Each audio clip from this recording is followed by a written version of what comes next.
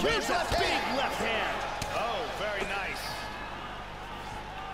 The left hook hits home. What a wild exchange. Oh! Haymaker. Body kick, look at that. Oh, big left hook there.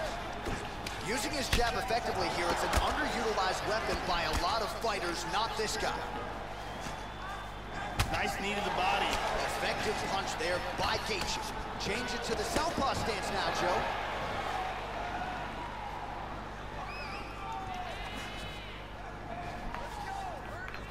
Again, going back to the jab just out of range. That one hurt. Watch the shot here, Joe. Huge uppercut misses. Right hand upstairs.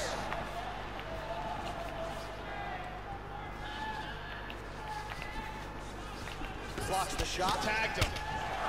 Nice combination of strikes there. Oh! Oh, he's getting Oh, he might be out. Boom. Shin to the dome. Knee to the body. Back to orthodox. Oh! Hard uppercut to the head. The kick gets through. Nice. Nice combination. So he's really starting to put together some significant body shots here. These are going to take their toll as this fight goes on. Oh! This could be it right here. He's teeing off with some vicious shots. Oh! He's clearly in vicious leg kick lands. He is not going to be able to continue. That's it. It's That's over. the weirdest thing I've ever seen. Got the stoppage from a nasty leg kick.